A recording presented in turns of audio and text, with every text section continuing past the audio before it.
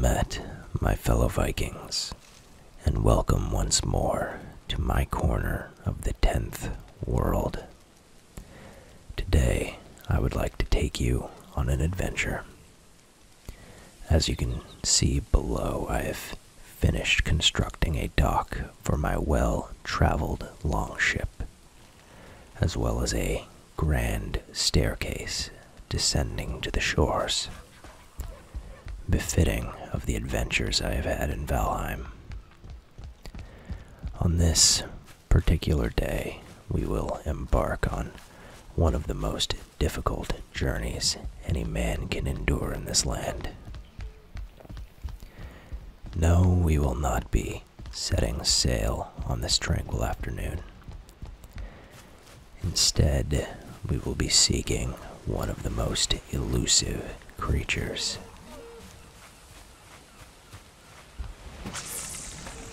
The humble saltwater fish. Now I know you've come here in search of a grand adventure. Well, as we wait for our dinner to nibble, allow me to share with you a tale. A tale of harrowing danger, of vast, stormy oceans and ferocious beasts. Today, I will tell you of the time I first departed this island in search of the great swamps.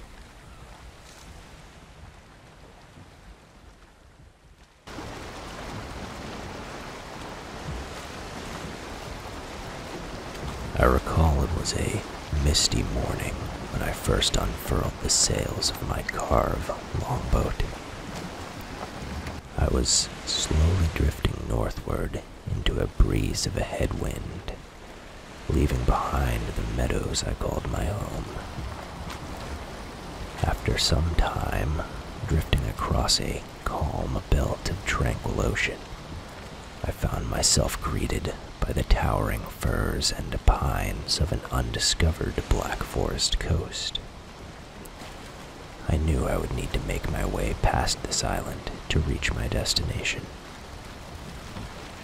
Drifting alongside the shoreline, I spotted what seemed to be an inlet for a river which would hopefully pass through the island which now waylaid my journey. After some deliberation, I decided to approach. The river was wide and accommodating, easily traversable for an accomplished sailor such as I. Though I was certain I could navigate these winding waters, I could not help but feel a slight sense of unease. The forest was far too quiet. Nothing but a few gray dwarfs haunting the nearby shoreline. After a moment, I steeled myself and pressed onward. Perhaps I was a bit overconfident at the time. You see, I had never actually sailed a boat before this journey. Certainly, I had puttered around on a small raft in the nearby rivers, but never have I navigated the Karve through such narrow waters. Regardless, I pressed forward. I was traveling into a headwind and slowly paddling my craft when all of a sudden I spotted a towering blue mass near the riverbank. I had heard tales of the trolls of the Black Forest, but had yet to encounter such a creature. I pulled out my bow with the hopes of silently felling this beast with a sharp arrow to its forehead. Unfortunately, the troll's hide was far thicker than I had imagined. Panicked, I grabbed hold of my rudder and prayed for the winds to shift in my favor. Hearing my desperate plight, the Valkyrie beat their wings and filled my sails with a miraculous gust of wind. With this sudden burst of speed, I narrowly weaved the karve back and forth, fighting the current to keep control of my craft and avoid the jagged rocks that threatened to sink me. As soon as I lost sight of the troll, the wind once again became a headwind, and I slowly paddled my way through the river delta back into the open ocean. Of course, safety is a relative thing in the world of Valheim.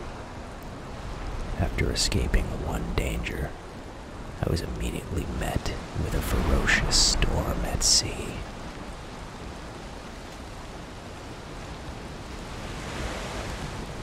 Just as I thought I was safe, something horrendous reared its scaly head from beneath those white-capped waves.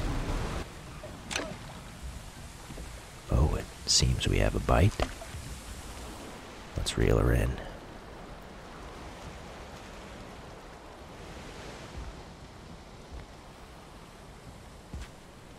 Ah, yes, very good. This will make some excellent fish wraps. Anyhow, where was I? Ah, yes, the dangers of the storming sea. Not just the waves, of course, but the ferocious sea serpent that lurks beneath those turbulent waters. I immediately attempted to scare the beast away with my bow, but to no avail. I unfurled my sails and sped away as quickly as I could, peppering that foul creature with arrows as I fled.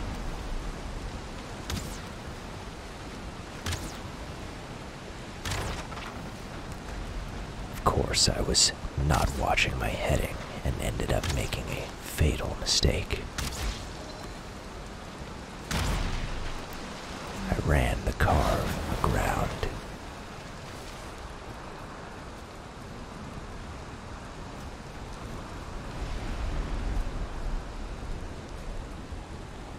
Shipwrecked and lost in an unfamiliar land, I sought logs to chop for lumber, for a campfire and a makeshift structure.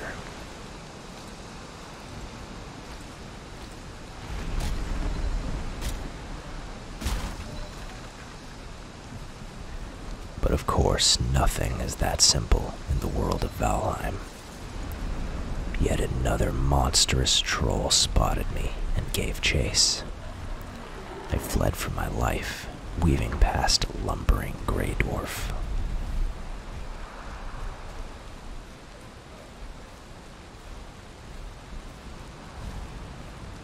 Eventually, I lost the beasts and found myself approaching a dilapidated stone tower. Perhaps I could seek refuge within the walls and wait out that stormy night. I crept toward the structure, hoping against hope that it was abandoned. But to my horror, I found it to be inhabited by an animated skeleton, a fearsome monster with which I must do battle.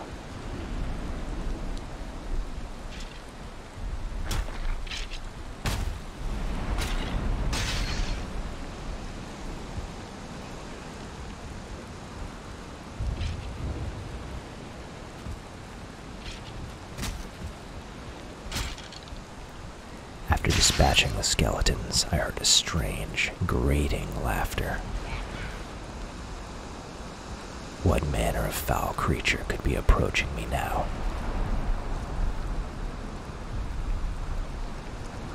I nearly laughed out loud as I saw a tiny, green, goblin like creature emerge. Surely this little thing couldn't be any more dangerous than the skeletons I'd just dispatched. After taking one single hit from his tiny sword, I realized how horridly mistaken I was. I was injured to near death with a single hit and sprinted away for my life. I found myself with my back to the edge of a ravine.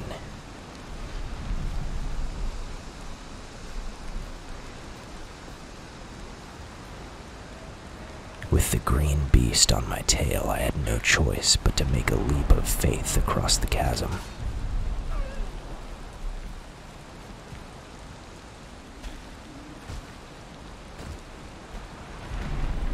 I attempted to stop my pursuer in his tracks with my bow once more, but my aim was not true.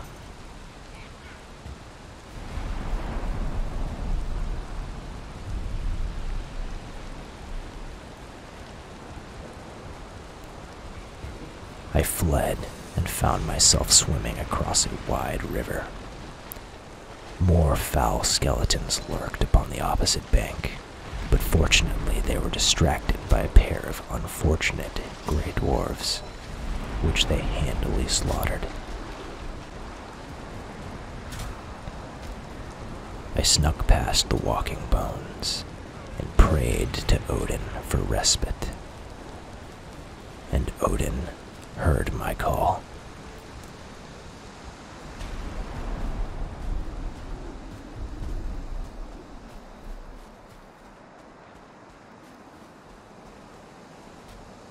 The All-Father revealed himself to me in this time of need. He beckoned me to rest, for I still had my mission to accomplish. He drew me to a small abandoned camp, and I knew I was safe at last. I set up a small structure, and with Odin's blessing, collected my thoughts. Where would I go from here? How might I escape this perilous and unfamiliar new land? With my worries in my heart and a warm fire at my back, I drifted into a calm but uneasy sleep, shaded beneath the boughs of the world tree.